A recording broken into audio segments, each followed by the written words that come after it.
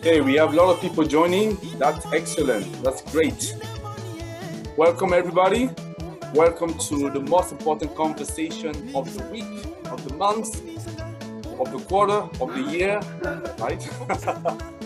we have a very, very, very interesting topic. That's a topic I've been asking myself ages, and finally, we're going to have the chance to discuss it. We are grateful for you to be part of it. Yeah, and then uh, we brought to you a very interesting panel, and you're also going to be part of the panel. And I tell you when. So, uh, welcome once again.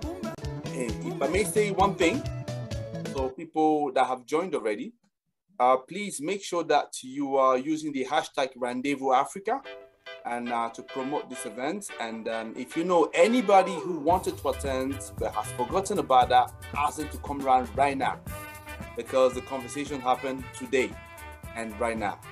So make sure that you use the hashtag. So my colleague will be dropping that in the uh, in the chat, and you can pick it up from there and share that. And I uh, would also like to say that feel free to introduce yourself. So tell us where you're coming from, so who you are, and then uh, what you want to uh, what you want to get out of this conversation today. So that would be very much appreciated if that's uh, if that's possible. I can see more and more people joining. We're already 30 people, but we need more, right? So if one of us, if each of us can bring one more person, we can double that in the next couple of minutes yeah, that would be appreciated. I can see many faces. So you can, uh, you, you all muted, but I can see some uh, some faces. I can see Eduardo, for example. So welcome Eduardo, Eduardo Garcia. So I can see Robo, Robo Ibu. So welcome to you. Who else can I see? Karel Nyman, but that's more a picture. So, Good well, afternoon. Good afternoon. Good afternoon, sir. So, hey, Carl. Nice to see you. Hi, Laura. Nice seeing you. Yeah. Yeah, it's a reunion, a Rendezvous Africa reunion. Exactly. Okay. Now that's what I look like now. I, I prefer like, the picture. Carol, you look like you come from a spaceship. no, that that that's the plug to my electric car when it's charging. Oh, okay.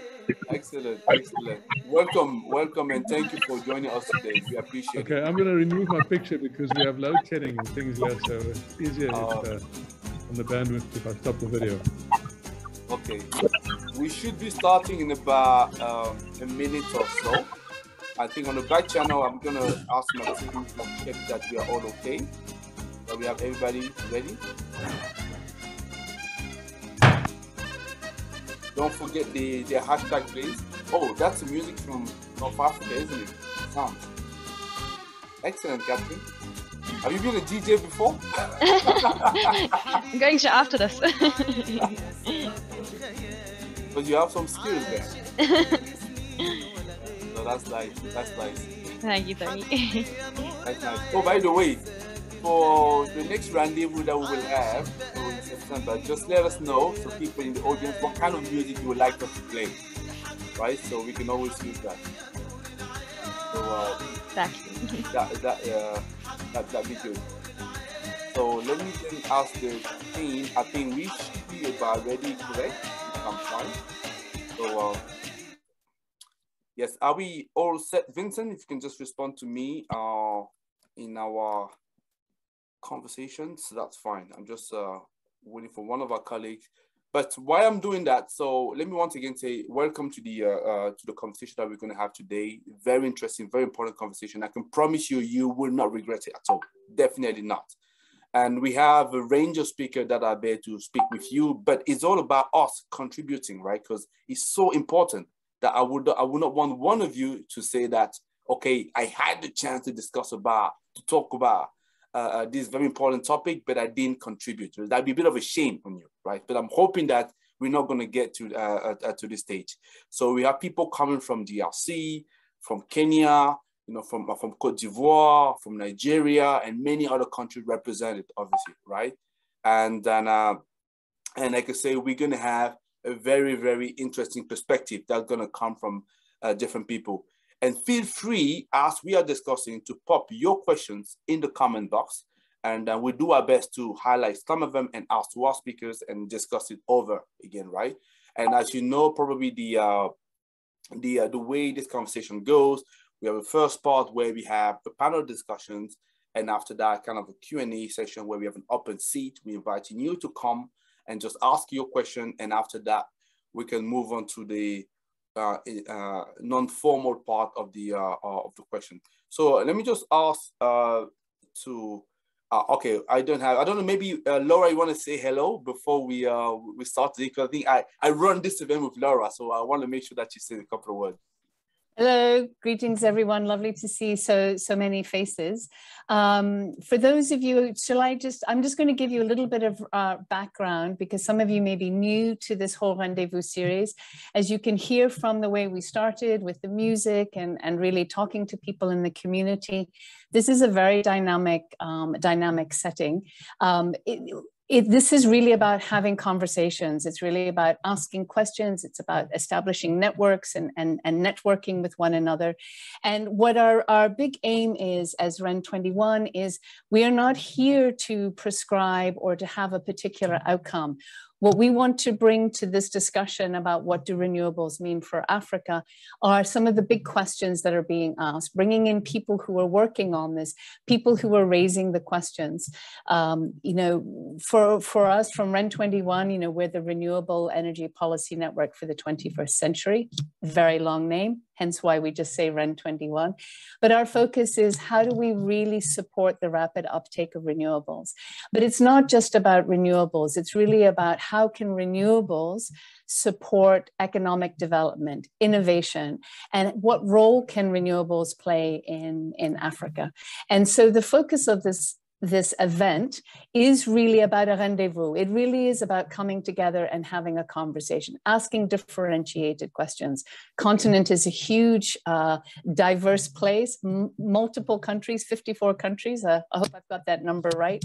Um, and, and the questions we need to be asking, you know, very, very much uh, based on, on the socioeconomic uh, conditions, requirements, governance structures, geographies, um, and when it comes to renewables, both the resources that countries have, both natural resources and those that they need to that they need to um, to import in order to be able to have the the energy services uh, to really drive that, that, that economic development and, and innovation. Um, and so that's, that's really the structure of our, of our conversation today. And hopefully you will feel comfortable um, in putting questions in the chat channel, discussing amongst yourselves, um, and feel free to disagree. We're not afraid of asking tough questions. We're not afraid of disagreement. Um, what we really need to do is to really find those points that we have in common and use those as a way of building, uh, building forward, um, building solutions. Um, so I'm going to quickly look to you, Tony. Um, should I do a little bit of framing about today? Do we have Henrietta? I think Henrietta probably, I think she's uh, just getting ready. But uh, while she's getting ready, I would just take the chance to let our speaker just introduce themselves very quickly. So just 30 seconds each. And by this time, uh, I, I, believe we'll have Dr. Henrietta and we can then frame it and then go ahead. So if we start with uh, Olola, please. Oh, she's already here, by the way. So uh, first one, first one to turn their camera on. So yeah, Olola, just you know, a little 30 second snippet of, of, of who you are and your interest in this today. Okay, thank you so much. Uh, it's a pleasure to be uh, joining this discussion with REN21. Um, so my name is Olola Vieira. I've been, um, I would say, energy, energy efficiency uh, uh aficionados for the last uh, 10 years. Um, I'm currently supporting uh, the program development in Cote d'Ivoire for the Global Green Growth Institute based in, in Korea. And, uh, and so for me, uh, I have a strong interest on energy and uh, renewable energy because for me, it's the basis for any development and it's a key topic for, for Africa. And, and definitely we need all our brains to come together to find solution to, to steer up this, uh, this um, potential that we have. So yeah, that's, that's me. Pleasure to join you. Thank you. Excellent. Thanks. Thank you very much. So if I have uh, Patrick, please. Uh, yes, hello. Um, thank you. thank you, Tony. Thank you, everybody, and thank you, Ren, to anyone for inviting me in this conversation.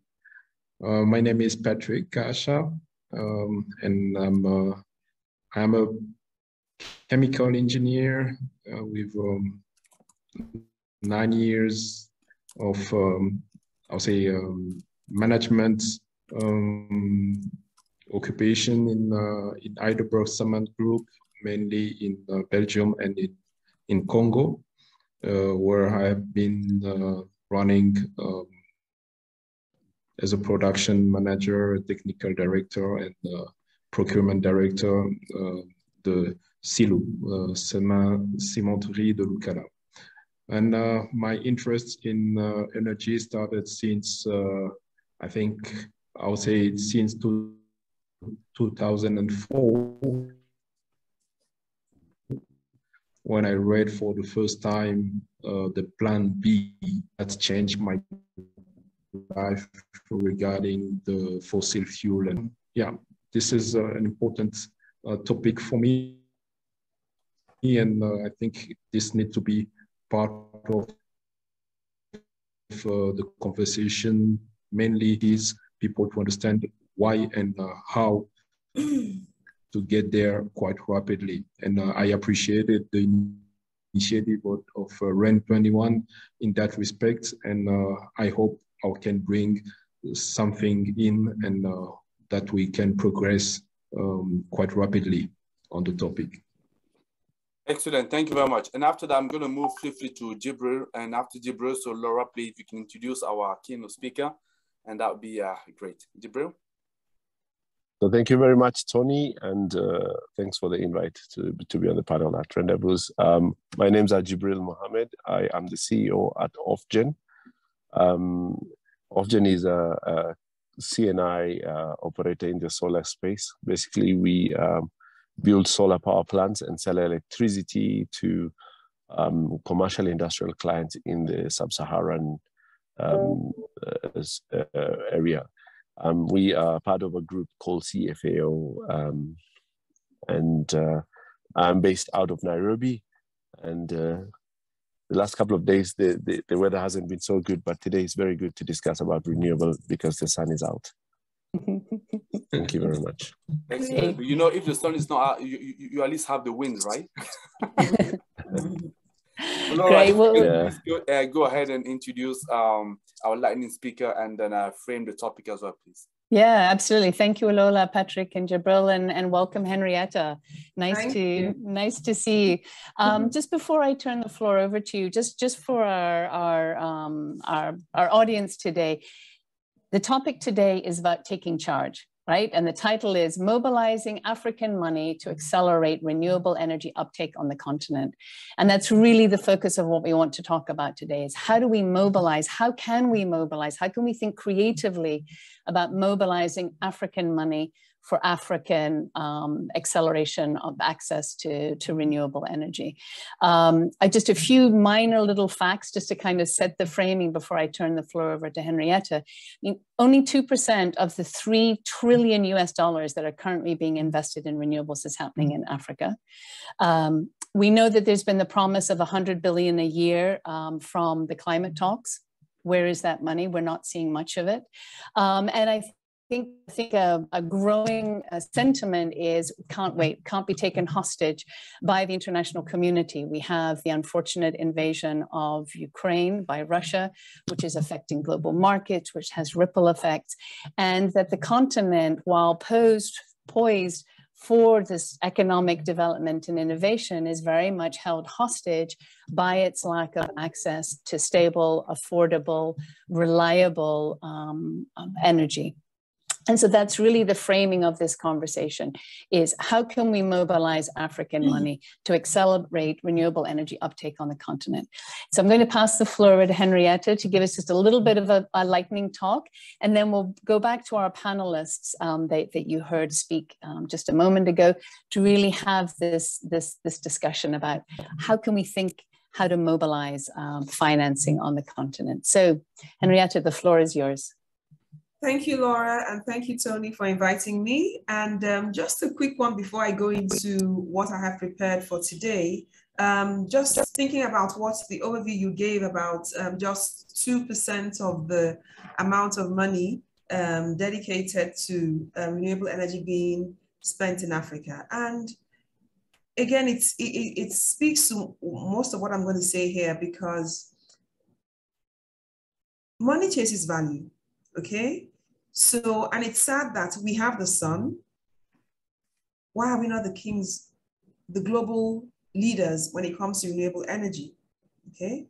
So that's just one question to think about because really, when you have something of value, you don't convince people about putting money behind it. Okay. When Mo Ibrahim started the mobile telephone in Africa, people didn't, people, people abroad didn't believe it will work out, but it did. Okay. And eventually, when it did, nobody had to convince people to pay for the mobile phones. People needed to communicate, and so they paid for those phones. So the question is, again, you know, what are we putting out there that shows that this is something that is going to, how are we trying to make money from making a difference? Okay. How are we showing that what we have to offer is of value so that people are attracted, not compelled to or convinced or being asked to put their money behind it? Okay. And um, I'm going to go straight to my um, presentation right now. If it just disappeared from my screen, I guess when you shared screen. But basically, what I'm going to be talking about is how Africa can earn respect because respect is earned. Okay. And I was going to, I'm going to start by talking about a personal experience I had some 20 years ago when I was um, a new faculty member at Lagos Business School. And people were sometimes surprised to see me standing in, in front of the class as the lecturer because I looked really young. And so one day I actually heard a, a guy say, um, I hope we will learn today. And I wasn't bothered. I didn't get annoyed. I just, because I had prepared and I was confident of, what, of my delivery. And by the end of the session, this same person came up and said, thank you for the session, ma'am. Another person came and said, oh, I didn't know you could teach so well. I was thinking, even if you didn't think that, um, is, you, is that supposed to be a compliment? Okay. But anyway, so and somehow I didn't expect these blatant shows of change of mind. Okay. Um, but again, I share this experience to draw an analogy between um, for, between what have my experience and the purpose of my discourse today. Because if Africans want to attract funding or the respect of the rest of the world, okay, we need to give people a reason for that. But Today, global attention is poised towards Africa because Africa provides 8% of the resources, the natural resources that the world, the rest of the world need. And, but besides that, okay, why should the world respect Africa? What are we known for? What, what are we known to be good at? Okay, apart from music and sports, okay? So I'm not saying we don't have things to be known for that we're not, that we, that we have done, but the question is, where are we the best? Okay. So yes, colonization happened. And yes, neo-colonization continues to undermine Africa because the international trade terms remain unfair to Africa, which is why we have um, a movement called Fair Trade today. And there, of course, there are other subtle and not so subtle exploitative activities in the international um, sphere. But we can't continue to blame others or the past for the state of affairs because I believe that we have come of age to challenge these issues. Okay? Um, we need to begin to hold our leaders accountable. The other day, I saw a video where the citizens of Sri Lanka, a country that's now bankrupt, actually invaded the palace of their president and he had to run out and they chased after him. And when they found him, they said they, they I mean, there was a mob action. They were actually hitting him. Now, that's a bit extreme, but the point is we don't need to wait till things get that bad. We need to begin to hold our leaders accountable.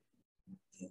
Um, there's some change beginning to happen as um, some African countries, mainly Ghana and um, Ivory Coast, have started saying, um, started compelling that compelling the, um, the, the, the, people not to export raw materials, but to process, add value before they export just so that they rake in more revenue. Okay, so something similar happens in the export scene where if there's a hundred billion to be gained from a particular product, Africa maybe may get maybe five billion because Africa exports the primary product and then others add value, package, and then get, you know, more than 80, 95% of the, of the um, revenue streams on the value chain.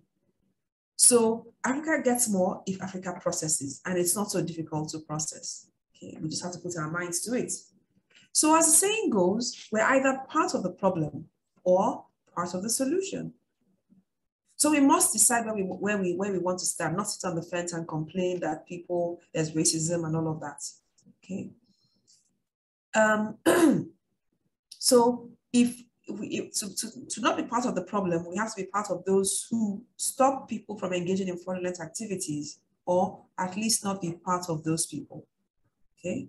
Um, because what happens when you're not an economic leader is that any offense committed is, is, is exaggerated, even though it's a global problem. I mean, I recall that um, when I was in the, as soon as I, when I was working in the US, as soon as I got my line, uh, my mobile line, I got crank calls from, for the first, in fact, I think it continued till I left three months afterwards. Okay, people saying all kinds of things, um, you owe us money for this, or come and pay for this, or we can do this for your car. Meanwhile, I didn't have a car of my own while I was there for, for just three months. So the, the point is, these things happen everywhere, but when you lack economic leadership, your situation tends to be exaggerated, okay?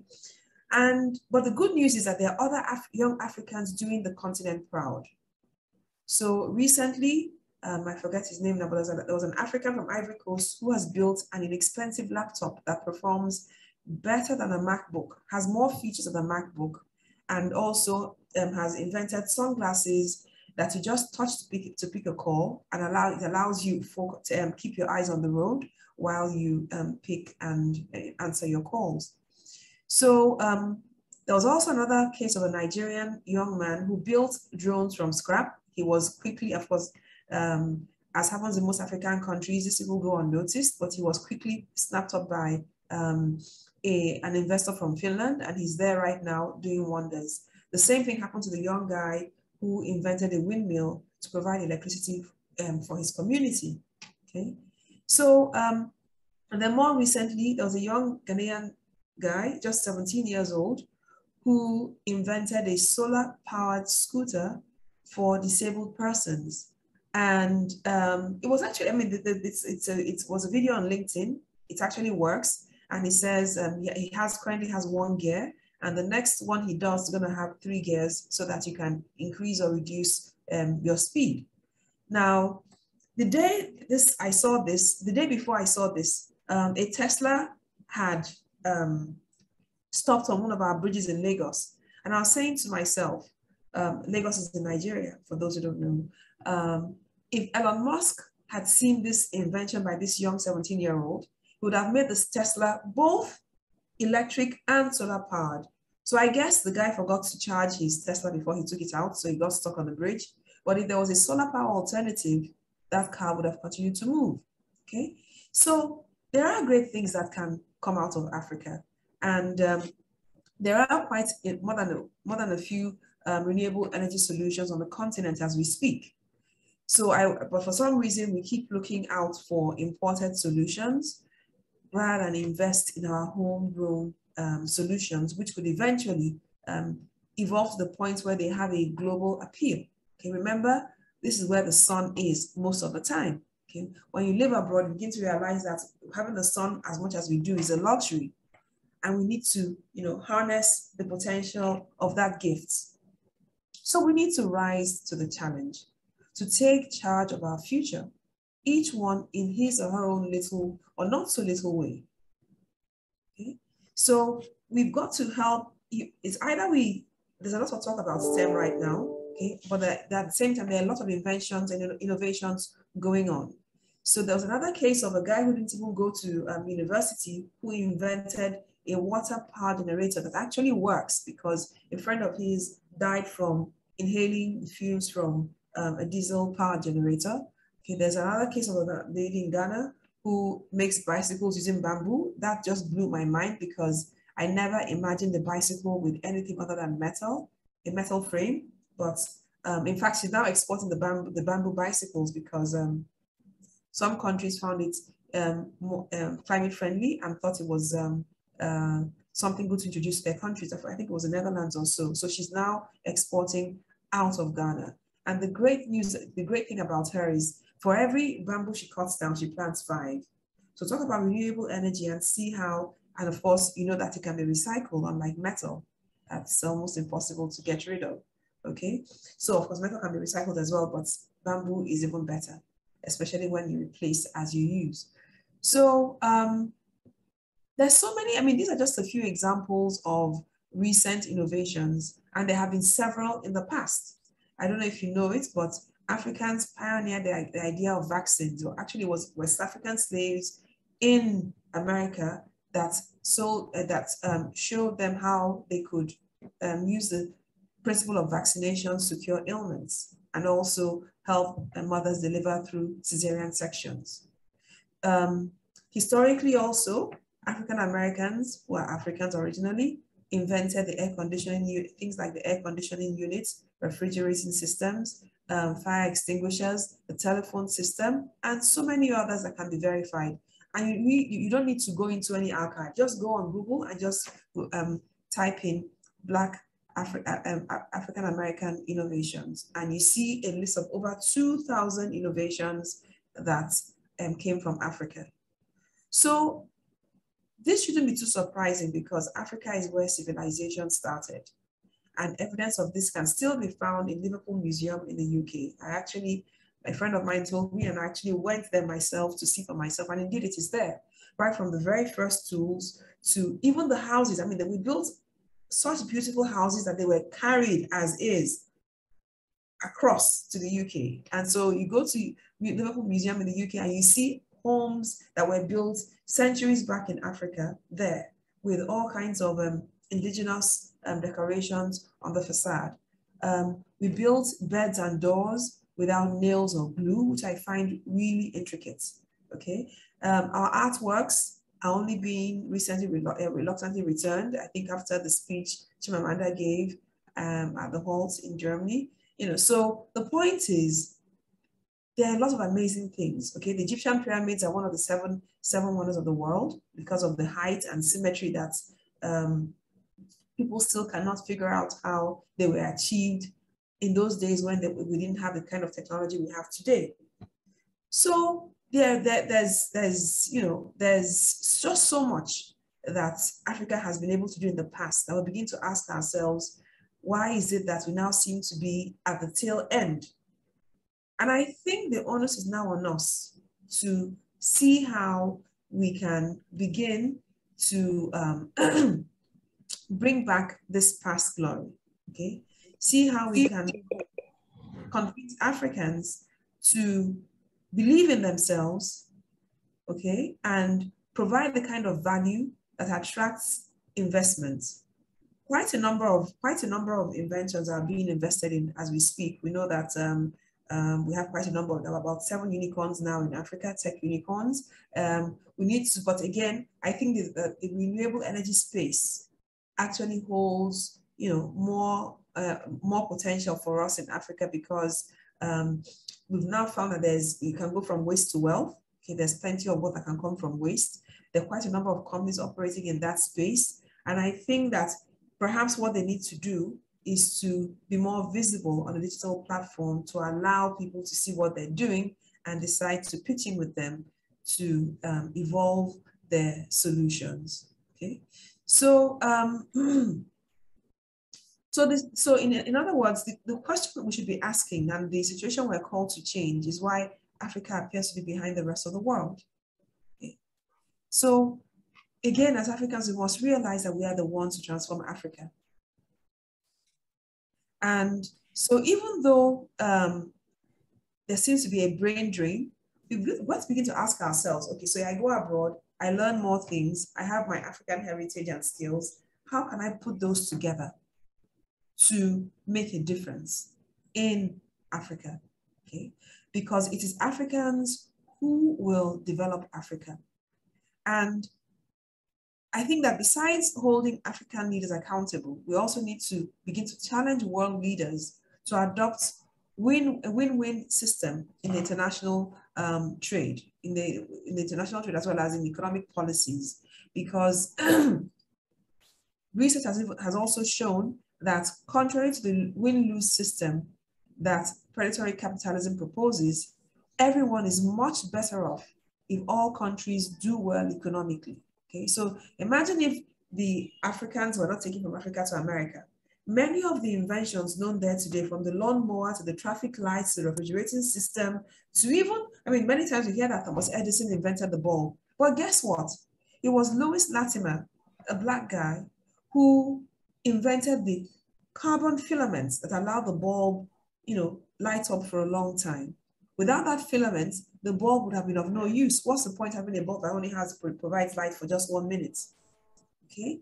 So, so then, so so can I just jump in there, Henrietta? Because I think you've got some really, you know, you're talking about all this innovation, and I think the, the sense is is that there is a lot of innovation, there's a lot of momentum and, and energy on, on the continent, but how do we ramp it up? I know that you work on impact investment. Um, so how can we, you know, how can this be applied to ensuring that people and businesses get the energy services that they need, that we move beyond sort of the, the basic energy access to, you know, full, full, full energy access. Um, you know, there's lots of, there's lots of demands on, on other needs on the continent for food, uh, health, poverty alleviation. How do we, how do we take, how do we tap into this innovation? How do we support this innovation financially to really move it to the to the next level? So I think again, it's from visibility. So I'm speaking about, I'm sure many of the innovations I've just spoken about are new to some of the listeners. And so you don't, if you don't know something exists, if you don't, you don't, you don't pay for it or you don't ask for it. Okay. So mm-hmm. I think that many of these innovations lack sufficient information dissemination. Because if, for instance, I knew that there was an alternative to diesel generators, why would I still use a diesel generator, which is very expensive to use? The diesel is expensive, generator is expensive. Okay. If I knew that there was a an alternative solution to cancer or you know in the healthcare space, or if I knew that coconut husks could give me power, okay, why would I go for more expensive alternatives? So I think that we these innovations need more exposure because the, the drone guy I spoke about, for instance, got um, investors from, from, from Europe because he was on LinkedIn. Otherwise, he would have mm. just. There are young boys who have been making cars in rural areas using scrap, scrap, but making cars at work for a long time. But because they're not exposed enough, Okay. Um, recently, some some young boys, I think they call them um, Badagry boys or something, got a huge investment from some famous filmmaker in the US because he saw how they were using their meager resources to mimic real films. Okay, and then send them all the equipment they would need to produce a real movie.